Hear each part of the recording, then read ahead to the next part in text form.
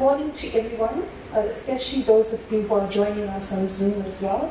Uh, it's our great pleasure to be sharing with you a little bit of our project, uh, which is focusing on digital literacy and digital fluencies at higher education institutions in South Africa. In particular, we're looking at the three institutions which we represent. So myself, um, for those of you who don't know me, I am Dr. Upasana Singh from the School of MIG uh, here at Westville campus, so representing the UKZN um, perspective of digital fluencies and digital capital. Here I have with me Professor Grace from the University of Johannesburg, and lastly, um, Dr. Neil Evans from, from who was no stranger to UKZN. He's done, I think, two workshops with us um, pre-COVID uh, as part of our TAU project. So to start off with, I just want to introduce my colleagues to you. Dr. Evans is from UniZulu and is a senior lecturer and the head of Department uh, of Information Studies at the University of Zululand. I'm not going to read out his bio, but I want to just share with you um, who he is to us in this team. So the three of us are TAU, TAU fellows um, teaching advancement in universities. For those of you who are passionate about teaching and learning, I'm sure you would have heard of the TAU program. And we were together in the second batch of TAU, and we were in a group which was called, eventually called ETAL. Um, and he's going to explain to you a little bit about our project, and that's where the, the in, the um, momentum for the current project in digital literacy started from. Um, Neil has a, a, great understanding of pedagogy, blended learning, um, and the implementation of e-learning technologies, and he brings a lot to our team in terms of the pedagogical aspects of um, being able to offer online teaching in, a, in better ways and methods. Then I have um, the third member of the team, who's Professor Grace. Grace has been the live wire in our TAU project, and she is the live wire in our current project for NRF. So if ever you want to find, um, if ever you want to de-stress and have a joke, or if you want to have somebody who's ever willing to assist you in your projects, Grace is the person who always steps in, um, and she keeps us all together and keeps us alive when we're feeling very drained. So Grace is uh, an associate professor at the University of Johannesburg in the Academy of Computer Science and Engineering. Um, she has a great speciality in artificial intelligence and she uses this to apply to her passion for education and for teaching and learning. So uh, she's going to be sharing with us a little bit about the conceptual side of our, our project um, and the implementation of it. I'm going to invite Neil to the podium now, and Neil is going to uh, give you a bit of background with regards to our project which we completed for TAU, and he's going to introduce this current project through that poster. So. Thanks so much, Sanibonani. Thanks, Dr. Singh, Basana, for the introduction. Very kind. And um, thanks for the invitation from UKZN again. It's good to see you guys. Um, Teaching Advancement at Universities project, a very fruitful project uh, where we networked with, networked with uh, all the universities of South Africa and got into groups according to our interests. And as Upasana said, uh, the ETAL group uh, originated from a group of us. Um, the names are up there, and forgive me, I didn't pack my, my glasses, so uh, I'll just have to go through this uh, from the screen. I normally zoom this poster up on the, on, the, on the laptop, so forgive me if I can't read the names, but it was Bessie, it was DUT, was, help me out with what's on it? Pradesh from DUT, and also a couple of other people that you can see on the screen there. But um, after the project, the three of us uh, discussed uh, initiating an NRF project. Uh, initiated it and asked us to join. And from that, we used this as a conceptual framework for our NRF project. So what I'm going to do is I'm going to, I'm going to can I step away and, and point back at the screen? All right, so you won't see me in the camera, I'll be in the front here. Um, but let's go through the poster. Okay, so I'll try angle myself a little bit so I can also see. Um, we'll go through the poster, which, as I said, um, basically looks at how technology can assist learning in higher education. And it starts on the left-hand side by the program development. So when we develop our curriculum, these are the aspects that we need to consider at the micro, meso, and macro levels. Obviously, the, the programs that you, you develop have an exit level outcome. And that exit level outcome includes the 21st century graduate attributes, which is ICT and communication skills. So the purpose of the program um, needs stakeholder involvement. So if we are developing programs for industry or the private public sectors, uh, we need to know what the requirements are for our programs and we need to um, revise our, our, our, curriculums to accommodate the 21st century uh, requirements, information literacies and graduate attributes. So let's start at the micro level. At the micro level, we've obviously got a program that has modules, and those modules will have study units. And the study units obviously have a learning outcome. What we're saying is that these study units should be a combination of these eight learning events. So the eight learning events is typically not just spoon feeding our students with content and expecting them to regurgitate it, but it includes the, the exploring, the creating, the debating, the practicing. Um, so a variety of, of learning events that many of them can't be easily or practically achieved without digital tools and literacies and fluencies. So at the bottom here, we recommend that when we design the study units um, on the LMS or wherever we're hosting, uh, we, we take this into account that it must be a variety of learning events that will suit the diversity of learning styles in our classroom. The very important thing in the middle here is the meta-learning. So what is meta-learning? Any, anyone with an idea about meta-learning? So metadata is information about information. Meta-learning is sitting down after the lecture and say, saying, what have I learned and how can I apply it in my context?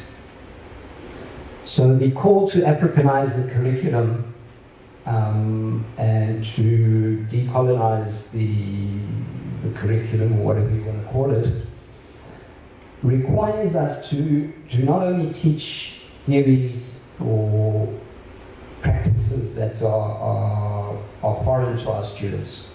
We need them to be able to sit down after a, a learning event and say, yes, I've learned something constructive, and I can apply this knowledge in my community to solve problems and um, make progress.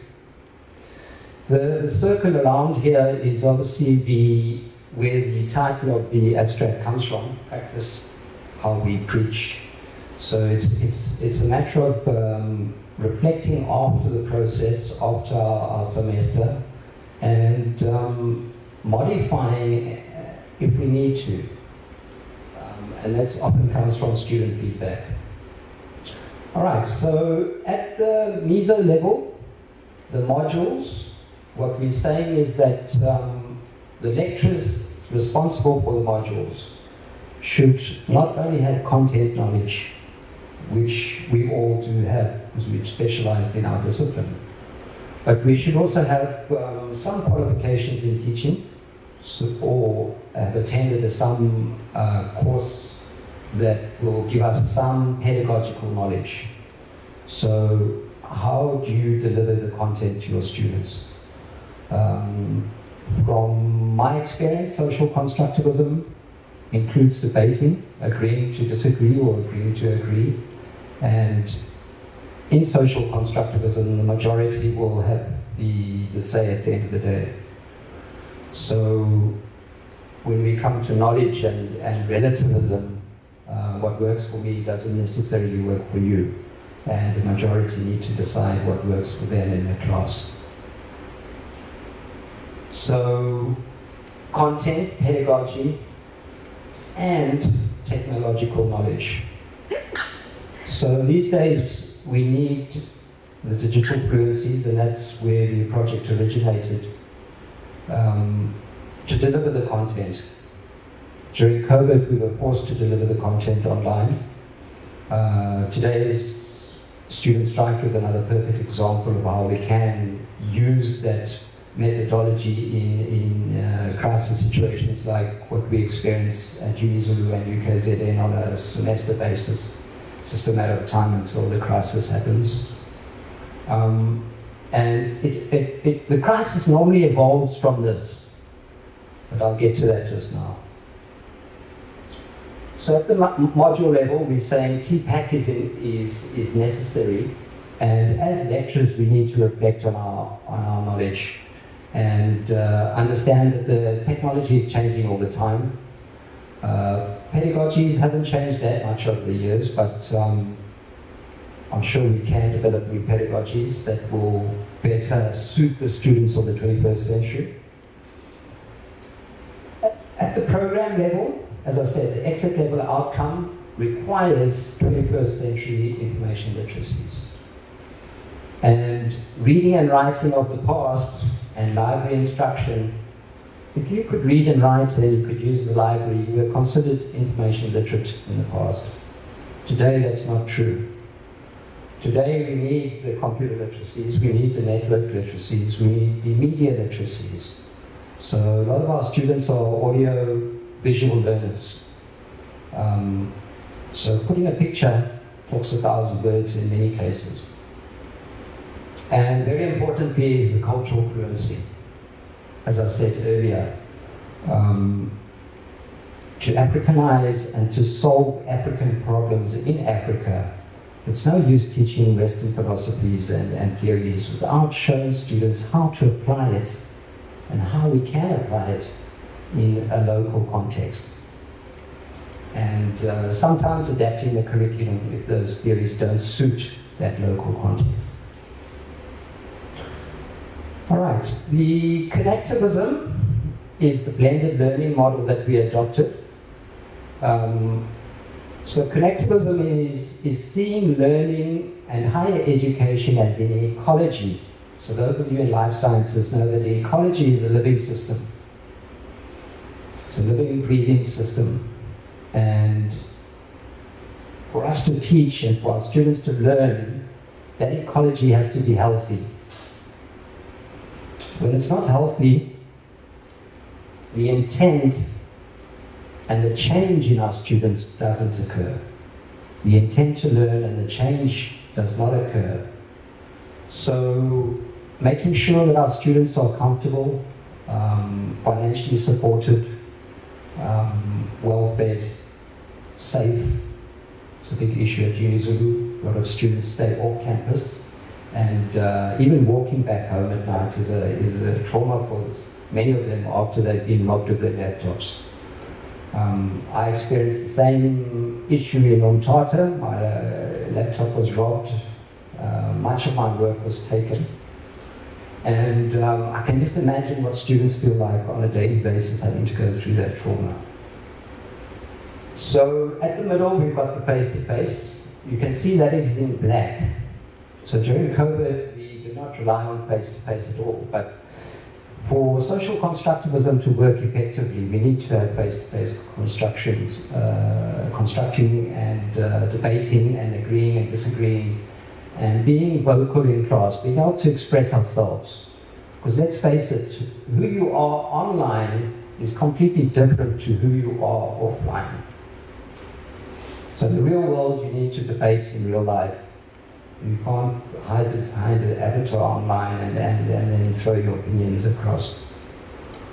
So, e-learning, very important to blend with face-to-face. Informal and self-learning is the intent to learn. So without an intent that informal and, and self-learning doesn't occur and becomes regurgitation, uh, reproducing information uh, in the exams. One of the best ways of learning is research. And that's what we're doing. We're researching the topic and we're learning from that research and we're trying to improve our own teaching and, and learning methods in our own classrooms. And hopefully sharing it with, with colleagues who, who can apply it. Community outreach is vital. Um, work integrated learning is vital. So in many of the professional programs, um, it's, a, it's a compulsory component to have work integrated learning. But I encourage all programs to get involved with stakeholders in industry and whoever is absorbing your students needs to give them the opportunity to have practical experience about what needs to be learned for the workplace that motivates them in the ecology and gives them a, a, a, fresh insight on what needs to be done in terms of the meta learning. How do I apply this knowledge in the workplace, in my community, to solve their problems and to, to, to make a living, to empower themselves and to empower the communities. All right, so I won't go through this. Uh, the conjugates of knowledge, um, or information, should I say, when there are language barriers, and many of our students do uh, encounter these language barriers, uh, where English is not a first language, and I, I, I propose that we bring back the indigenous languages into higher education. Because if you ask me to critically engage with the in isiZulu, I couldn't do it. There's no ways. I could be polite, but that's all I could do. And that's what our students are doing in class. They're being polite, but when you ask them the critical questions, uh, there's no answers coming from them. It's not because they don't want to engage, it's because they can't express themselves. So, um, becoming fluent in, a, in an indigenous language for lecturers is is one of the things that we'll have to work on. Reflect and change eventually for higher education to be truly successful. But what I'm saying is that uh, when there is language barriers, um, technology can assist us. Um, are you guys familiar with the South African language SADiLaR, Digital Resources uh, Project? So they've just brought out a spelling checker for the, all the indigenous languages. So you can install it into MS Word and students can uh, check their spelling in their own uh, languages. And I can also write in isiZulu and check my spelling, which is great. So I can add motivational things in my, in my learning, um, in my module and my learning outcomes here that will motivate them to engage. All right. Um, this ecology, as I say, has to be healthy. And if it's not healthy, the intent and the change is minimal, uh, which is essentially producing students that are unemployable. Yes, they've got degrees because we don't want to see them next year in our class again. We've already got new intakes. So they get the 50%, they get the degree, but uh, the change and the, the transformation doesn't occur. All right, to, to, to end off, we'll look at the challenges of implementing uh, technology in our classrooms and the trends. So I hope I can remember these things off by heart because I can't see it from here. But as a TAU project, we, sorry, we decided that we should not concentrate on wicked problems um, we should concentrate on solvable challenges. And as a first step, whenever you're initiating something, that is what I advise we do. Don't jump in at the deep end and, and fail.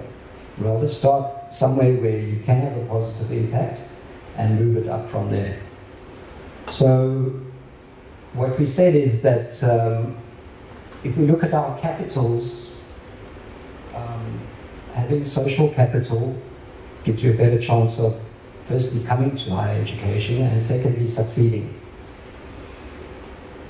But in the 21st century, even if you don't have social capital, um, digital capital can assist you. If your language barriers exist, digital capital can assist you. So the whole idea is to provide both students and staff members an opportunity to improve their digital capital and um, hopefully improve the outputs in, in our graduate attributes. Um, the trends in technology, this is quite an old poster, so I attended a, a lecture yesterday at uh, the cadets in South Coast where DUT gave a lovely presentation on the robots and air drones and um, the artificial intelligence in the post-industrial revolution. It was, um, it was very uh, impactful, but practical. Um, yeah, it's, it's a lot of money invested in a lot of tools that um, you can include for gamification.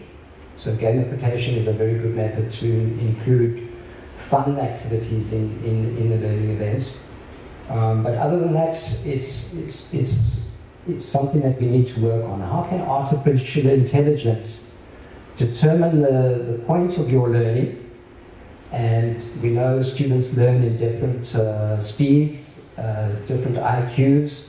So how can artificial intelligence pick up where you are and what do you need to progress to the outcome that we want to achieve in the, in the module and in the program, uh, which is something that we'll look at in the, in the trends. Colleagues, uh, I'm going to end off with the reason why we are doing this. We are doing this for our students to learn. Um, how many of you guys, and I'm, I'm, a, I'm a culprit here, you know, when I did my BSc, we had textbooks like this, and then in the timetabling, they put the, the, the, the physics exam and biochemistry exam on one day. One in the morning, one in the afternoon. And hey, I can feel for our students, you know, how can we not pick up these risks in, in our timetabling? So we, we reproduced, we learned off by heart. We, we, we looked at the exam papers, right? We saw what the lecturer gave last year, we saw what he gave the year before, we saw what it, we saw a pattern, right? And it's like gambling. If you see a pattern, you can predict what questions will be in this year's exam. And it was pretty successful.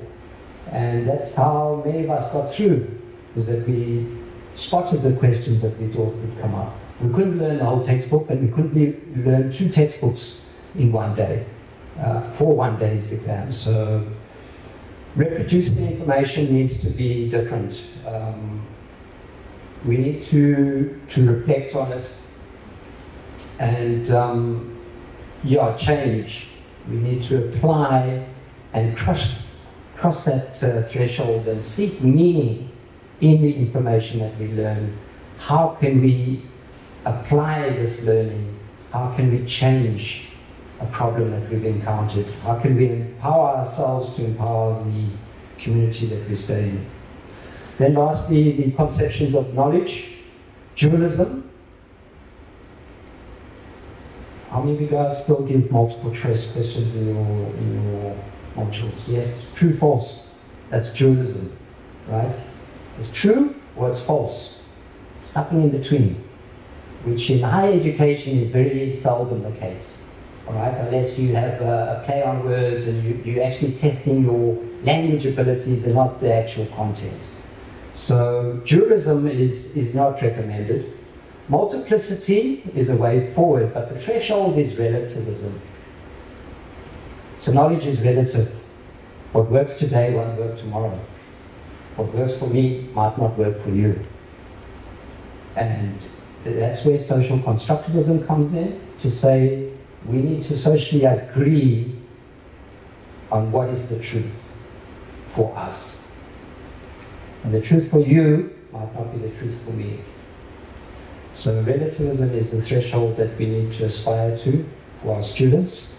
And um, with that, I'd like to thank you.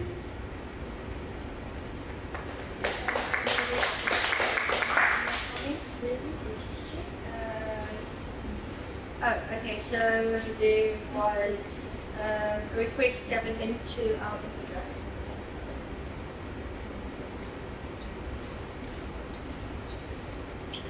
Guys, if you want to engage with us on Zoom, uh, please unmute yourselves. Um, the chats might not be as engaging, so please unmute yourselves and uh, engage with us. Uh, you're welcome to do that. But uh, let me look at some of these points. The infographic, our child infographic, posting as presentation. Um, it was meant to be put on a website, but I think we can send it to all participants. Um, I'll also put it on our website and uh, send it uh, maybe a link later. But yeah, we can we can uh, definitely send that and share that. So yes, the presentation will be sent to all attendees. Thank you. All right, any other questions, guys? All right, thank you very much.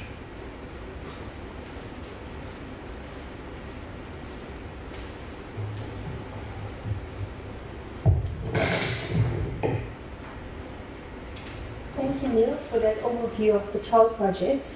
Um, I seem to have just skipped a slide into, um, and I, I think it's important that I just briefly highlight for you what the purpose of today's workshop is, even though we've already started it. So, as Neil already explained, um, we, we as academics, we need to evaluate the types of literacies that we have, the types of pedagogies that we know, and the types of technologies that we use for teaching purposes in order to give our students a better experience in the learning process. So the main objective of today's workshop is to explore these digital literacies and fluencies for you. Um, from both the academic side and from the student side, we look at the TPACK model, which um, Neil is, or I, I, should say Neil is probably an expert at that TPACK model. For those of you who attended his previous workshops, uh, you would have benefited from his expertise in this area. And what we're trying to do as part of our NRF project is to develop a framework which can be used by higher education institutions in South Africa to evaluate the digital capital and digital fluency which is present uh, in their uh, institutions. So we're now going to move to Grace. Or should I just do the overview of the project first? Okay. So the current project that we're doing was uh, initiated through this the ETAL project which we had, and in this this particular project, what we're trying to measure here is the amount of digital capital. So that was the first part of the study to measure the amount of digital capital that is present in our three institutions because it's a collaborative project. We try to achieve this by using the, the Bourdieu framework, and in Bourdieu's framework, he speaks about five types of capital that's social capital, digital capital, economic capital, political capital, and, and the last one. Sorry, I forgot the last one. But there's five types of, of, of capitals which he speaks about. And um, the idea here is to identify whether our students who we are teaching who we regard as digital natives, whether they have the relevant capital to be able to use the technology in their learning process and not just for social purposes. We also want to, to look at or be able to profile the types of uh, people who have the capital existing in them. We also needed to look institutionally at what types of digital capital are available. So overall in, in the institution, therefore in our project, we're looking at both the academic perspective and the student perspective of capital. And finally, what we're trying to understand is whether if academics and students at that institution have a high level of digital capital and better digital fluency, are they able to make better use of the technology for their teaching purposes or for their learning purposes? So if somebody has high digital capital, does it really benefit them in that entire process of teaching and learning? Uh, the way in which we, we planned to do this project was the first part of the project was the baseline assessment and I think a number of you sitting here today and a number of you in the virtual audience may have participated in our surveys which we sent out to the academics. And in this survey we asked a, a series of questions under each section of the capitals to identify the level of um, of, of existence of each of those capitals amongst the academics at our institutions. We had a similar survey which we sent out to students. Um, I think because uh, there were uh, there was a lot of research which was being conducted at the time when we sent out the surveys and people were suffering from survey fatigue. The, the responses which we received were not as many as we anticipated. Nevertheless, we still used the data, we did the analysis, and we know that we can't take that data and project it on the entire population because it's not representative, but it helped us to get a little bit of a better understanding of the type or the amount of capital which is present in our institutions. Based on that baseline assessment, we then worked together with the developer from the University of Johannesburg on Law to develop the module which you now see on Moodle uh, at UKZN, which is called e-learning for lectures. It was developed as a MOOC and together with the assistance of the uh, instructional designers who we have at the, the, the UTLO at UKZN, we designed that particular module as a self-paced module as an intervention to try to improve the digital fluency of academics at UKZN. So, uh, assessing what we found in the baseline study, in applying the intervention, following the completion of the MOOC by, we're hoping all academics who have registered for that module, once they've been able to complete it or we have sufficient number of academics who have completed that MOOC, we will then look at ways in which you need to apply further interventions, whether there's more skilling that's required, more workshops that need to be developed, more individual Uh, assistance, for example, with instructional design in terms of, of courses and so on. And that will then help us to determine or to, to devise this framework which we're trying to develop as part of the project. So at the end of it all, we're hoping by the time this project is completed, it's a three-year project which is funded by the NRF. We're currently in the second year. We're hoping by the end of next year we'll be able to come up with this framework for enhancing digital capital at higher education institutions in South Africa. So Grace will then take us through the background studies and the conceptual framework which we developed from the background study. And I hopefully, if we have enough time, will, will very briefly run through the course which has been developed to give you an idea of what to expect if you haven't already registered for it, and for those of you who have registered for it, to be able to assist you with, with any queries which you may have. Thank you. Right, uh, good morning everyone again. Uh, thank you for the opportunity to talk about um, this part of our project. Uh, so, the outline of this presentation is just to contextualize our problem, which actually has been done already, uh, but I will just, just pull some nuggets from what we pointed out during the journey of our research. And then I will talk about our uh, conceptual model that we developed in the first year, and then to go through some of the results of our survey, just to give everyone an idea of how we uh, what, what, what interesting things we've discovered based on the feedback we've got from our questionnaire and how that helped us inform uh, the creation of our uh, of the Moodle um, module. So, um, as we all know by now, the our, our success rate in this country when it comes to graduating our students is not exactly the best. Um, if you think about the startling statistics, we only have about 27% of students who finish their qualifications on time. And in addition to that, there are actually 50% who do not complete their qualifications at all. Um, just recently, we, we did a survey at the University of Johannesburg with undergraduate students, and interestingly, just, just to monitor what's been going on with um, the lockdown and, and so on, I would ask you all this following question. And I think it is because from our survey we picked up that there isn't really much difference between our three institutions. But um, there were a number of students, a, a, considerable percentage of students who deregistered. They cancelled their studies from the university. What do you think the number one reason for cancelling studies is?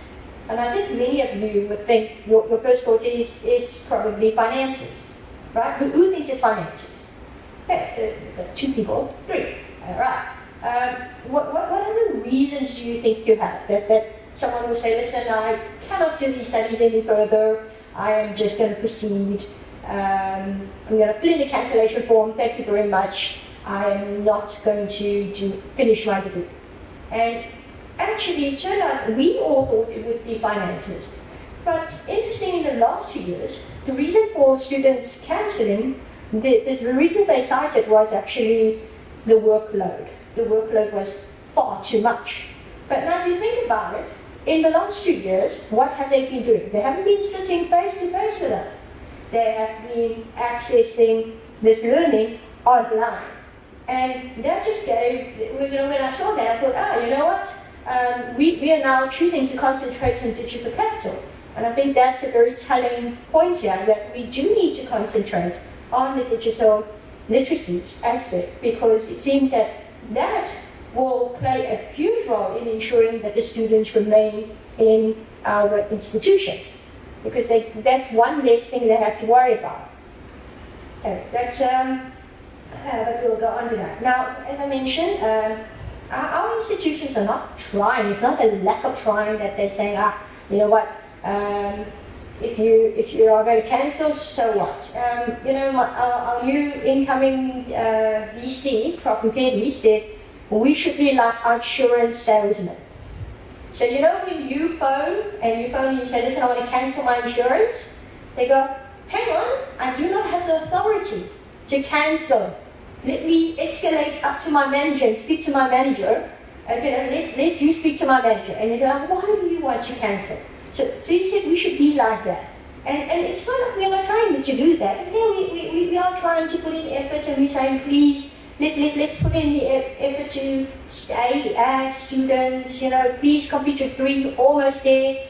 Um, you know, you've done one year, you can do another two years or another three years, you, you, you are getting there. You know? And but but even despite you know, despite the efforts, it's not happening. You know, our efforts interventions are just not good enough to prevent many of our students from falling behind. So the thing is, during the lockdown, and actually now, and we think, oh, lockdown is over, it's done, the nightmare is over. It's not. Because what has happened? For the last two years, the students have been sitting in a digital environment. And now we're suddenly asking them to transition back to what we think is the, the normal, they, for them to transition is still a change. That, that whole thing of transitioning to their new teaching and learning environment. You might be thinking, we're going back. For your first years in the class this year, they weren't coming back. They were actually transitioning to university, number one, and number two, transitioning to university in a less digital environment. What do you mean I can't answer my exam online? What is this? I have to sit and I have to take down notes. What? With a pen? Paper in front of me? No. So the potential value of digital capital. So, so our, our research project was to look at the potential value, as Upasana has mentioned, uh, during COVID-19, and the idea is really we wanted to explore it and look at the gap, knowledge gap and strategically fill it. Now, earlier, Upasana said, asked, um, or mentioned, she said, you know, there was this fatigue with filling in forms. Now, how many of you, and let's admit it, I'm also, I, I will say I am one of the victims, is how many of us also have fatigue from all that training? All those, oh, you know, you must sign up for this workshop and that workshop and that workshop. How many of us attended many, many workshops and thought, oh, not another workshop?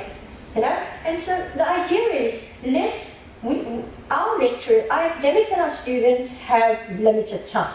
And we need to acknowledge that. We need to recognize that. We need to say, listen, we respect that. We don't want you to sign up for 600 different programs and training workshops and so on. We want to make sure that we only sign up for a few, and of those few, let's make it worth your while so that you can benefit from it in a strategic manner. And so the the main aim of our research was to investigate and compare the digital capital demonstrated in the e-learning initiatives launched by our universities in South Africa, uh, so that, you know, beyond the pandemic, because, yes, the lockdown is over, but we've had other issues. You know, there's always going to be new challenges, as Neil has mentioned. There's always going to be new challenges around the corner that's going to make it difficult or challenging for us to deliver our classes in a more traditional manner. So um, our study, we had five specific questions, and um, so the first few in, in our initial studies, we, we managed to say, okay, uh, our initial um, reading and survey of literature allowed us to come up with answers to the first few questions. And the idea is, uh, for example, number one, what characteristics what characterizes people who have digital capital in terms of Bourdieu, Bourdieu's, different capitals, uh, I mentioned that already. Uh, what characterizes people who do not have digital capital at all. Um, and, and the idea there is to just capitalize on who has and who doesn't in order for us to bridge that gap. Now, the other three that we looked at, what digital capital exists at the selected uh, HEIs, I will talk about that now. And with the possession of digital capital, improve the delivery of education and throughput rates, well, that's what we intend to try and find out. And how to select an HEIs foster and support digital capital during and after. Again, hopefully by the end of next year, we will have answers for that. Now, this is the conceptual framework that we devised and put together. Uh, this actually comes, we were inspired by uh, three different frameworks in, in developing this, and Neil mentioned earlier that at the end of the day, your student in your classroom um, also has an offline persona and that they bring that, those characteristics into the online environment. And that's why, despite the fact that we are looking at digital capital, it, it, it would be incorrect or silly of us to think that we can we just have to focus on the online aspects of a student uh, all, all the academic. And that's why in this example, in this diagram, can you see that we have um, aspects related to an offline, but also aspects related to an online environment. Um, so um, from, looking at these, uh, we, we, were able to create this, this, this um, framework, and from this framework, we then devised the various different questions in our questionnaire that uh, wasn't as well completed, but it, it still gave us a starting point from there to, to come up with some interesting um, elements or, or, or, or, points that we picked up, which were a bit of a surprise to us when we saw those results. And so I'd like to share some of those with you. Right, so um, these results focus specifically on the academics, and, and the reason why is we, we are now we're working on the Moodle, um, and we're aiming for let's look at the academics first. Now, the age distribution of the participants, um, we, we noticed that it was actually the older academics that were more keen on sharing and completing the information for us Um, and also the academic position, you can see that it is the more senior academics. And I think I'd like to think that when you are working with part-time lecturers, the new ones that are just stepping in, these are the people who don't really know. They, they just joined the institution perhaps, and they're not quite sure, uh, you know, what is their great role in teaching and learning. Whereas I, would like to believe that the, our full professors and associate professors have had many years of thinking, what does it truly mean to teach and produce quality graduates uh, in the classroom. Now, in terms of experience, this actually correlates to what we have. I mean, if the majority of people completing these, this our questionnaire were uh, professors and associate professors, you can see that they do have more than 20 years of experience. Um, the, the, the ones 6 to 10, um, even 6 to 10 is still not, not, not people who have joined just around the corner.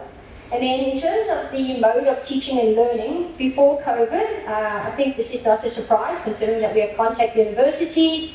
Um, all of us basically focused on face-to-face. -face. There was some degree of blended and a small degree of distance, but then during COVID, you'll notice that it shot up from 3.3 to 83.3%.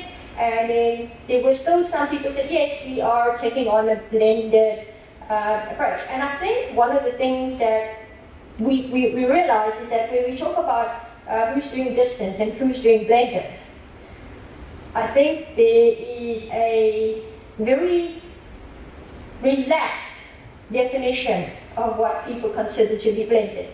They go, oh, I'm online, therefore I'm blended. DA. And like, okay, we'll, we'll, we'll, let you work with that definition for now. But it was something like, ah, note to self, you're going to have to start defining this. Um, for example, at UJ, at the beginning of this year, we said, oh, we switched to hybrid. But like, oh, hybrid, what is that? Ah, that means that you are now going to lecture to the people in front of you in the classroom, but you must also talk to the people that are here virtually, hi, everyone, on Zoom, and and, and that's fine. And they, they gave us courses and they said, this is how you do it, this is the technology you need to do it. But I think one of the things that they neglected to, to, to realize, besides saying it shall be hybrid, off you go, good luck with the rest of the semester, is how many people do you need to successfully hold a hybrid lecture?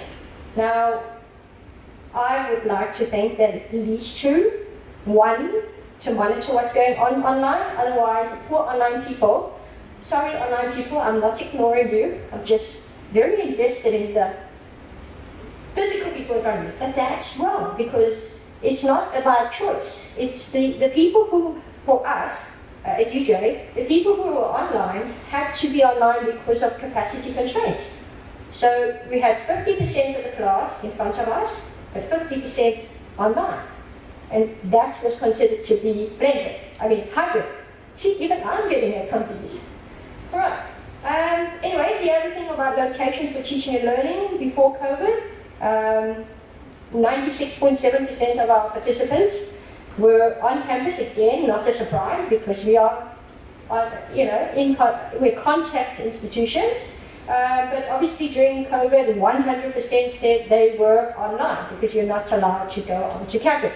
Uh, although obviously there were some, there were, when, when things eventually relaxed a little, and this was after the survey was taken, uh, there were participants who had to come back because there was lab work to be done and we would bring people into the laboratory to, to complete the work. There's no amount of uh, virtual dissecting the fish is going to be as satisfying as chopping up a fish in person.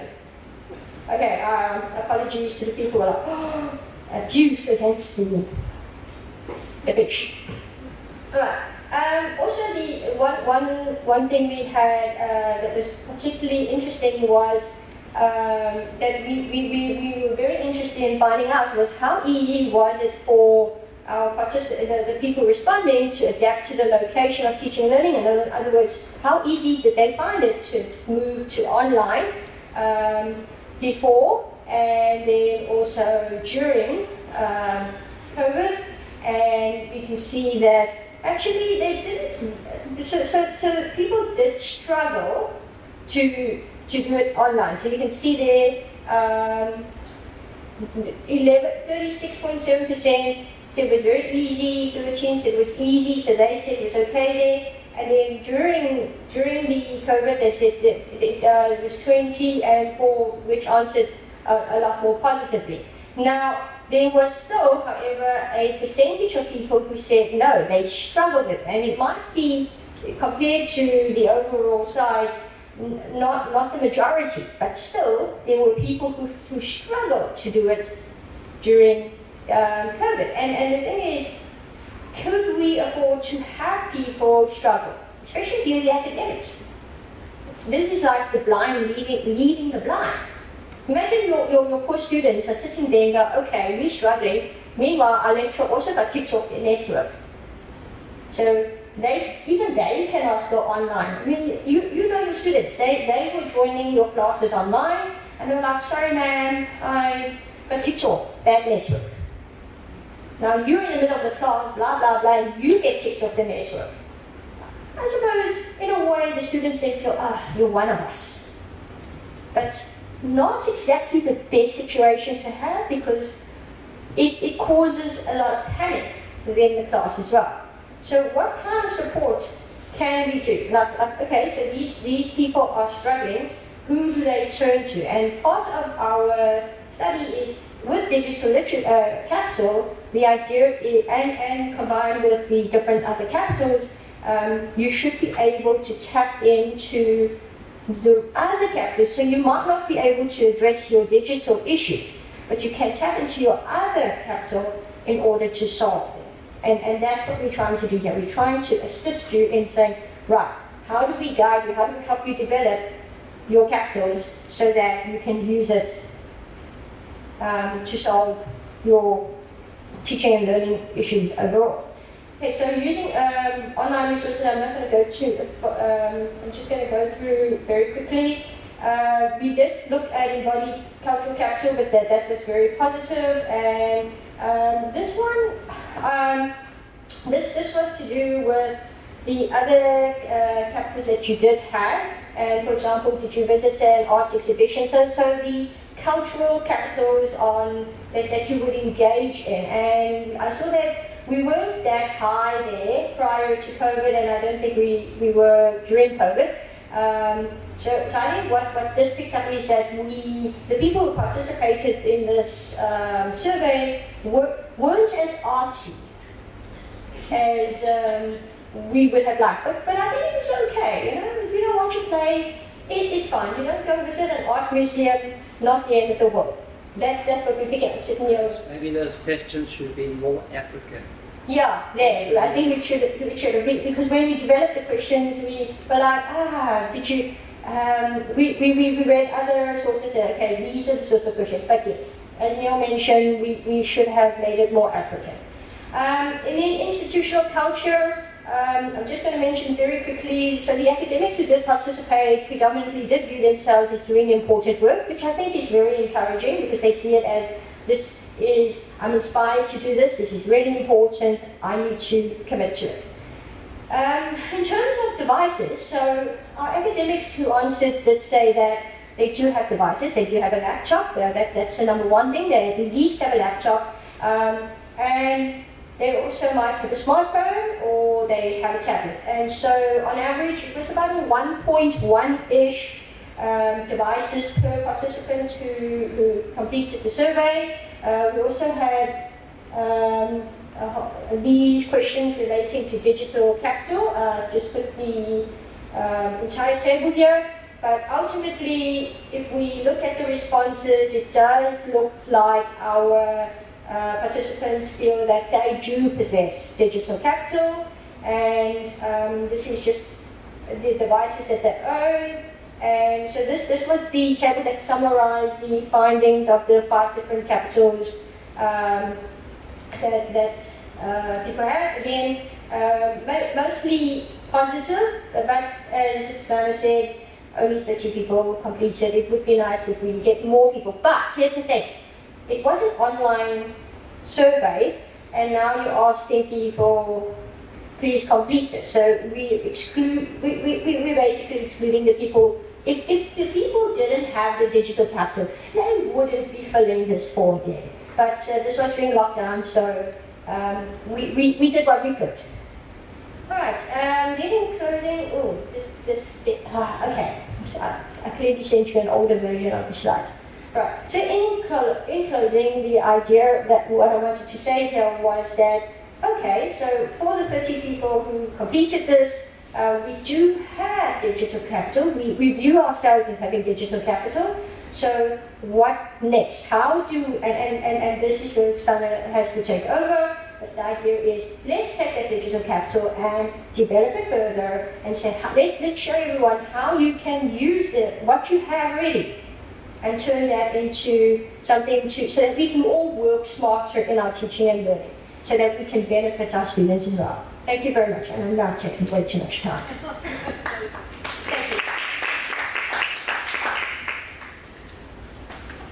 So now you know why we call Grace Live Can you imagine how interesting the classes must be? okay, so I think we have till 12 sleep, another 20 minutes. Okay, I'm not going to hog the floor here then. Uh, we might have some questions on the chat based on the previous. Oh, um, just request colleagues, sorry. Some colleagues will okay. So you, you've got a, another colleague who'd love to join your classes. Uh, I'm going to spend just five minutes uh, just as an overview of the, the course on e-learning for lecturers which is available to all UKZN staff currently. It's a self-paced uh, learning uh, module which you can complete. Um, I have tried to prompt those of you who have registered to, you know, keep you on track as to where you should have been over the five-week period, but there was no compulsion for you to ensure that you completed the activities during that time. I'm going to start off and before I play the video, I would like to acknowledge the role of the instructional designers, particularly Sethu at the um, office for all her assistance and her team's assistance in getting this course up one level in terms of the uh, quality of the, the course which was originally developed. And, and you can see, uh, I'm not sure how many of you have actually registered for that course, but you will find that the activities which are in there are fairly engaging activities which make use of a variety of tools. Um, and it's, it's meant to be a practical-based course where you, you work with the theory which has been taught in that particular activity and then design some part of your module using that theory so that, that, so that the application is happening as you're taking the course itself. So this short video just gives an overview of the course. Hello and welcome to the e-learning for lecturers course. In this five-week online and self-paced course you will be guided on how to develop creative and interactive digital content, use resources to plan and conduct your blended teaching, and apply these new strategies in your own modules. As a practical resource guide for lecturers at different levels of comfort with digital tools. This course consists of various activities and resources that aim to provide you with the necessary skills to begin or enhance your journey into e-learning. Over the course of the next four weeks, you will be engaging with three distinct topics. 1. Design aspects for blended learning. 2. Creating digital learning material. And 3. How to develop and deliver suitable assessment online. We hope that the content and activities are helpful and look forward to hearing your views as you make your way through the course. So make sure to share your progress with fellow participants as you go. Good luck! And let's get started.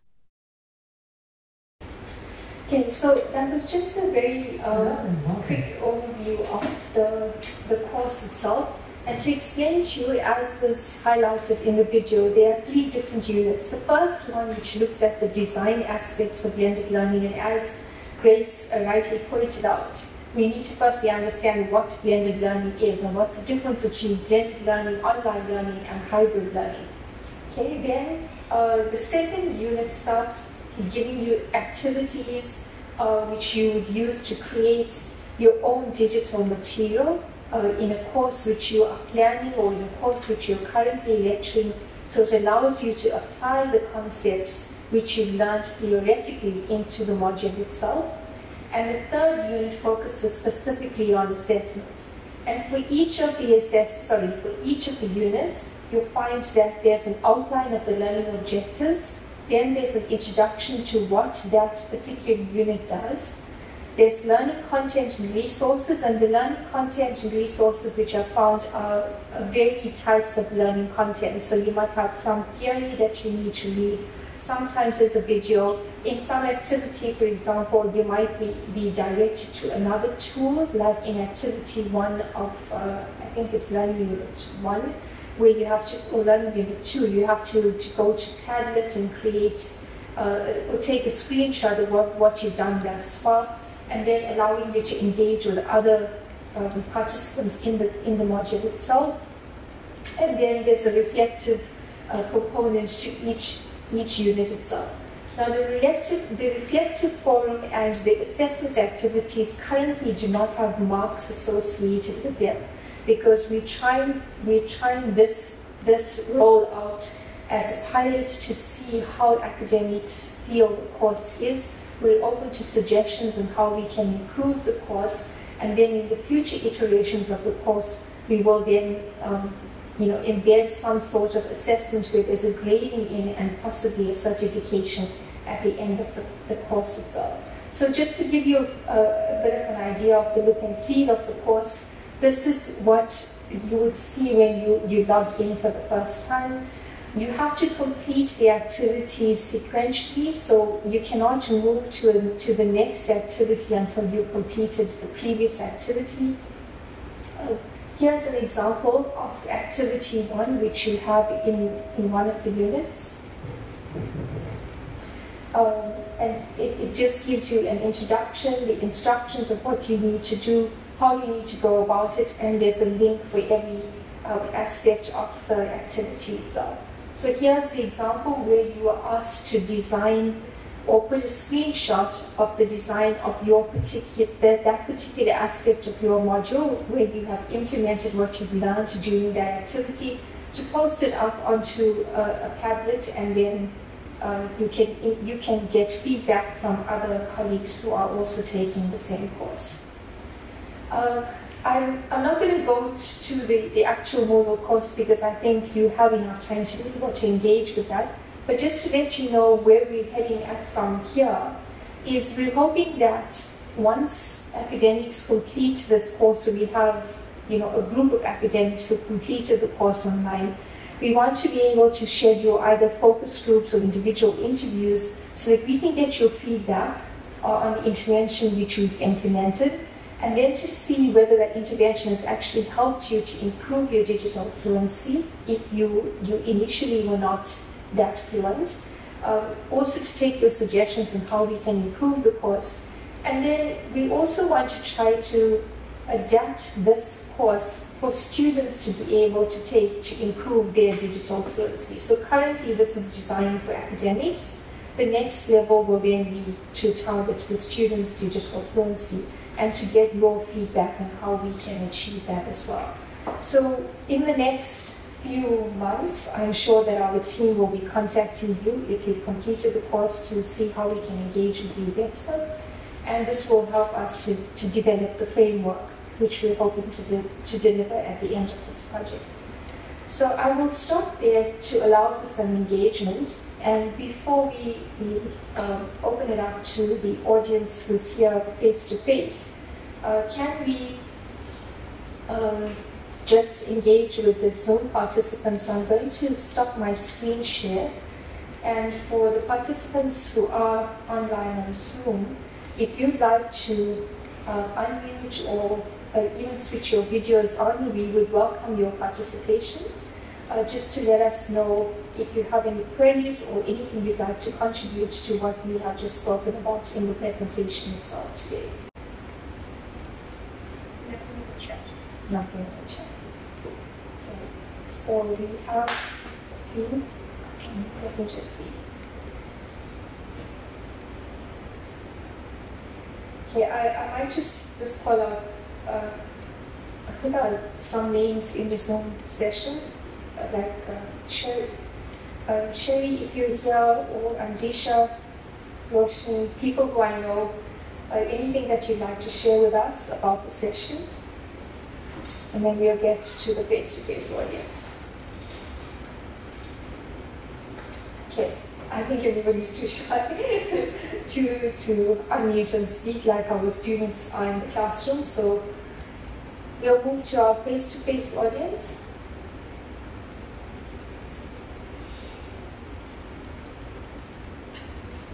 Everybody's shy. Please don't be. That's when I enjoy it because I don't want to be shy. Hi everyone, I hope you're well. Um, I can thank you for the session. I must say it's been an, an interesting one, especially to have the insights. Yeah, we can use the mic and I was yeah, and then the Zoom guys not coach because be honorable for the guys here. Sorry about that, Zoom colleagues. Um, so I, was just saying that thank you for the session to, to the organizers. Um, very interesting to have insights from, from a small sample that has responded to the survey. And I fully agree, I think survey fatigue is real and it, it compromises the type of research that we're trying to do because we don't, don't get what we to achieve in these research projects. Um, I think, uh, Prof. Grace, I found it very interesting that feedback from students who drop out uh, as far as the workload being far too much. And it made me ask myself, are we making the workload too much or are the students entering, is it the type of students that are entering university that can't handle the amount of work? I think more engagement needs to happen there, with, with a reflection on an individual aspect, but also I think as academics we need to reflect on that because we, we don't want them to drop out before they need to. And then the other one was um, on the feedback on the ease of moving to online and most finding it difficult. And I was just thinking, is it possibly because most of the respondents were senior, maybe not as much tech savvy, even though I know training happened, but were people really engaging with the training as hoped for by the institutions, or was it a matter of I'm locked in, yes, I'm in the workshop? Because I know personally, with at that time, there was so much going on, there was so much to still prepare and do. You would sit in a workshop, but you multitasking, and you would be fully engaged with that training. So those are the things that were lighting up in my head. Are those other contributing factors that may have been there, and hence the difficulty to shift? And now we're facing a new animal. Now we need to shift sort of back, not fully to the normal that we were used to, but it's another new normal because now we're incorporating what we developed during COVID. And yeah, so it's, it's just always shifting. And I think that's another layer to be looked at as well. You know, because we keep shifting, shifting, shifting, and I think we won't stop in the next few years. Thanks, that's what I wanted to share. Uh, thank you. I think one of the things that I picked up, uh, so I, I really became vice dean uh, for my faculty last year, October. Uh, one of the things I've, I've learned to do recently is um, speak to the students directly. Uh, because when you get problems reported to you, you, you obviously speak to the academics, and the academics will tell you this is why we think the students are struggling. Then you speak to the students and you ask them, why are you struggling? And then those that come forward, it turns out that what the students say and what the academics think are two, are two different viewpoints. So, I, and, and that's why I think we also need to look, we need to do research. We, because academics have certain notions of what they think is, the, is, is going on. And it then comes as a surprise to them that actually that's not the, the students saying. Uh, on the other hand, you also get academics who get rather defensive, and I, I'm saying this in, in general, not, not just at my institution, and that is, um, and I think you also encountered this. You go, so, so you go to an academic and say, listen, the following complaint is, been lodged. And then they will say, oh no, but you know, sometimes students are very clever. They will try and play you against another academic. So, so they get a defensive line and then they try to come up with a, with a plausible reason as to why this, this is the case. And, and I think um, what I'm trying to get at is, by giving you this response, I'm saying, number one, we don't necessarily know our students the way we do, and that's why research is now so important. We actually have to go and study more and, and learn more because what we think, it, it might be true, but let, let's confirm it.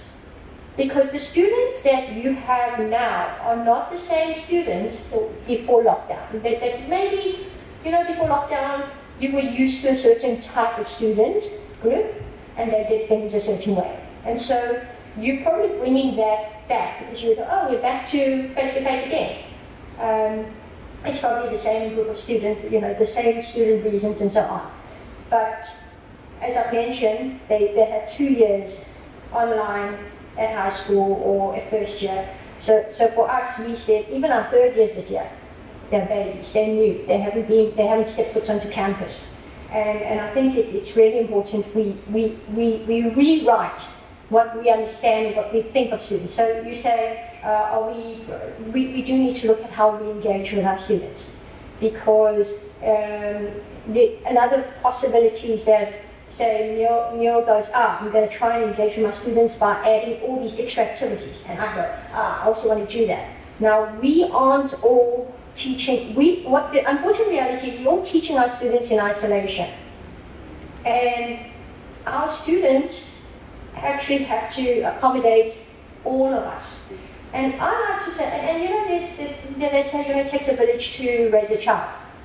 Why aren't we taking that kind of attitude in our, in our, in our environment?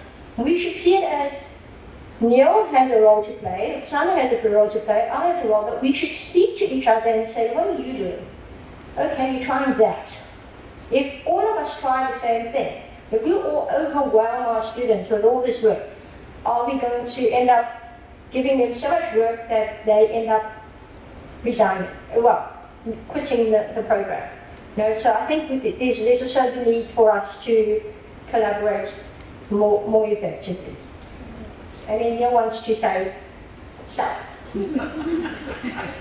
stuff. Yeah, I'd like to, to chip in there and say that um, not necessarily stuff, but an observation during COVID a lot of our students were working and studying at the same time.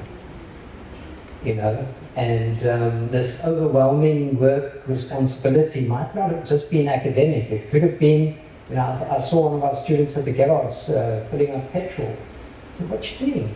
No, he's, he's working. You know, the family needs it. So I think there's aspects of COVID that we don't fully understand.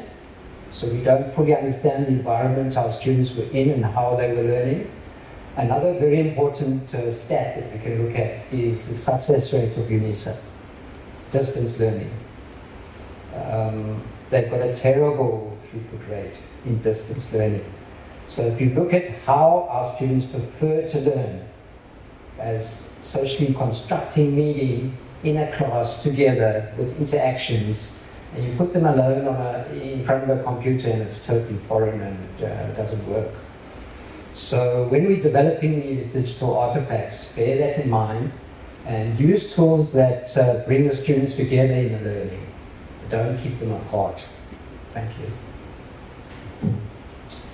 I just want to add to that um, statement which uh, Grace made earlier about the workloads. Uh, and uh, sorry, the statement which you made about workload and which Grace spoke about, where we need to talk to each other. Just a simple example here at UKZ, and we moved to continuous assessment um, during the, the early stages of COVID, and I think we're still doing continuous assessment currently. But if, if you just take an example of a single discipline, moving to continuous assessment meant that we need to have a number of smaller assessments for every module. So if a student had to take four modules for a semester, in every module that they were taking, instead of having the typical three assessments or two assessments which they had plus an exam, they were now having six or seven different assessments throughout the semester.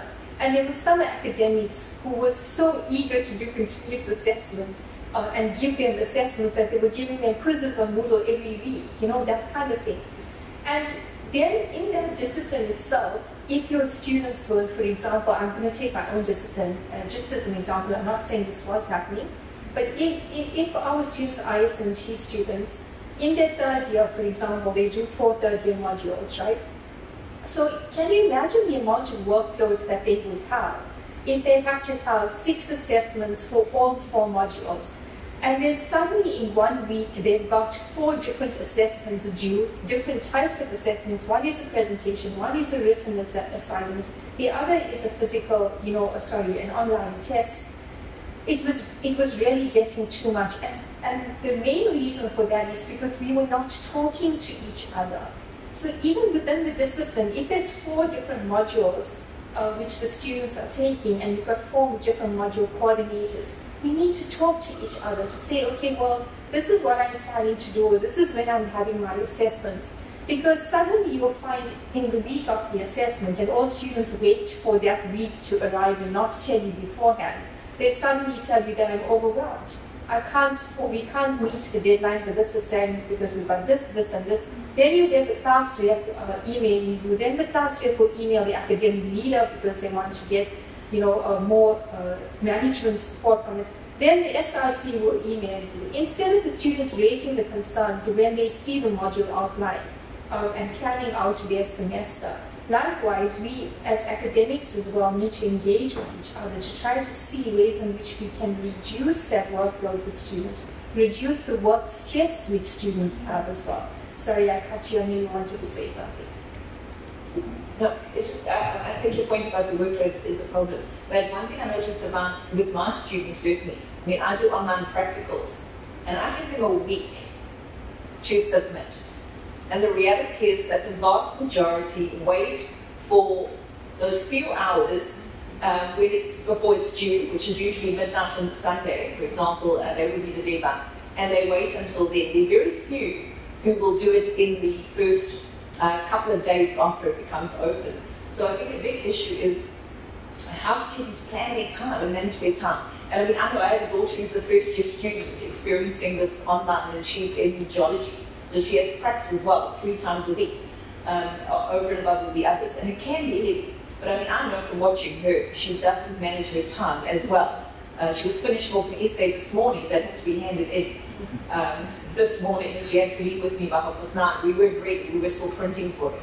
Um, so I think this issue of um, teaching students to manage the time, and I know the first year program, uh, experience program is trying to do that, um, but our senior students seem to struggle maybe even more than the first year students.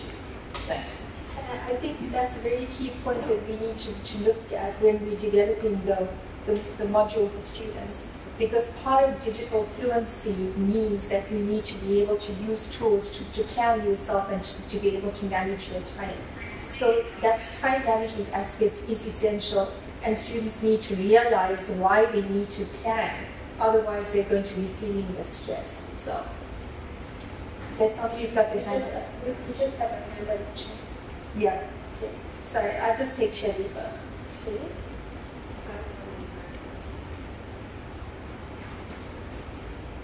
Maybe use the one on the other side. I think the one at the back don't work. I noticed it. Oh, it's not bad. Yeah, thank you. Sorry, often expect our students to know technology um, Yeah, uh, just another observation which feeds into the whole thing of them feeling overwhelmed. The, the, the whole online uh, experience for students and I know that, that we, were, we were told in the beginning that the universities were trying not to leave anybody behind. I, I think that there's a, a massive amount of students that have been left behind simply because they're at home. And home, in many instances, I, I can't speak for your um, student body, Grace, but I'm assuming for yours, Neil, and ours. Homes, because most of our students are from Quintile 1 to 3 schools, homes, often in, in rural KZN or possibly another province entirely, homes are a place where you know, there isn't connectivity, or certainly not a stable connectivity. Uh, home's a place where you've got chores to do, family chores. You, you also might be holding down a job, as, as, as somebody somebody said. Um, and, and, and the effort that, that goes into trying to stay connected online and stay up to date online with your with everything that's thrown at you.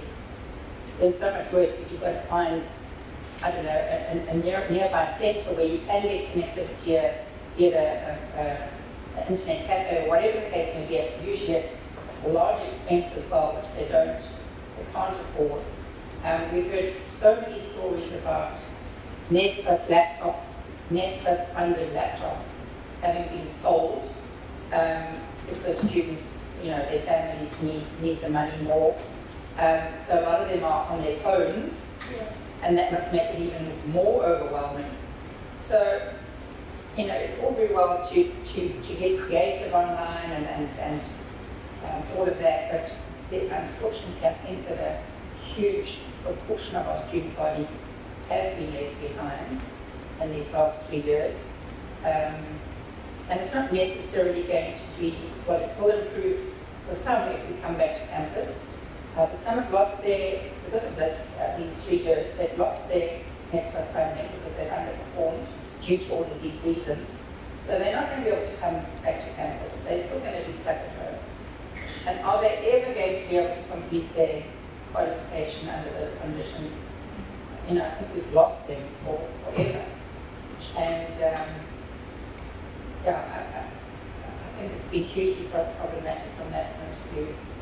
Um, you know, we, we're trying to put our, ourselves in our students' shoes, and in many cases, that position is untenable. It's just not conducive for, for learning or achieve or achieving or performing academically at I, I, I think, you know, if there was a magic wand which we could wave just to, to get everything right, that would be the only solution. But as you say, we have different levels of students who we, we've lost along the way, some who have managed to, to progress, and others who will struggle to get there, but they will eventually get that degree. It's, it's about whether they can return to campus when we do eventually come back at UKZN. Um, and it's also about being able to provide them with that support and the infrastructure to be able to complete their studies if they're not going to get both of them, uh, they're not going to be able to complete it. So as you said, we probably lost it. And that's one of the reasons why also we have the dropout rates, which uh, Grace has about, different uh, reasons at UJ, but at, at UKZN, our reasons are, are, are more economical, they are more, you know, economic reasons, they are more infrastructure reasons, that and support reasons, lack of support that they, they couldn't actually meet the view, so that's why they dropped out. Right, let me say some more stuff. Business intelligence, right? Tracking real-time data on our students' well-being, uh, their financial situations, uh, their mental well-being. For many of them, it was traumatic losing people during COVID, which was a, a, you know something else that we don't consider. Um, so business intelligence requires us to use those digital fluencies not only in the classroom, but in the administration of our of our institutions.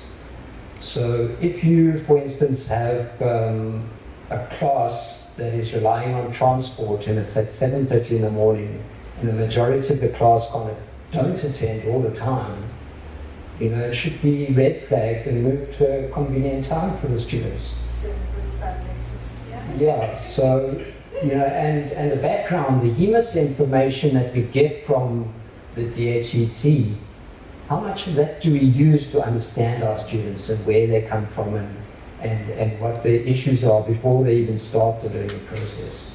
How can we support our students uh, and make it a more positive experience.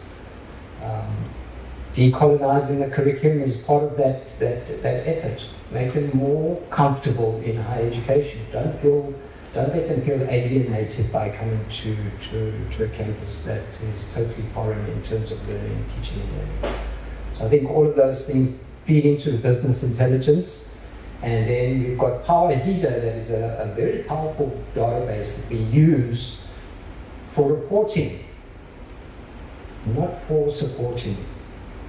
So reports without support for me is a waste of time.